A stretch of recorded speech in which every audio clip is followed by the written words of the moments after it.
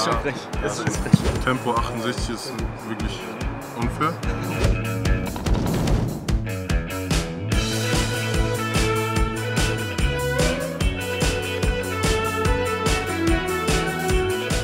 Spezialbewegung muss ich 5 Sterne haben, ganz klar. Bei Schießen fühle ich mich ganz klar richtig bewertet. 53. Das kommt mir eigentlich, das passt eigentlich. Aber Pässe ist, das trifft es nicht. Ich habe 67 und habe normalerweise 93.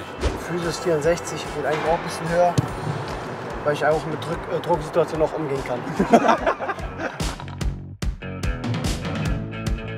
Ich würde gerne näher an die 80 kratzen. Ich hätte schon gern so ein bisschen was über die 60. Damit, damit würde ich mich zufrieden geben. Ich habe gesamt 83. Ich bin eigentlich ganz zufrieden, muss ich sagen. 80 wäre schön.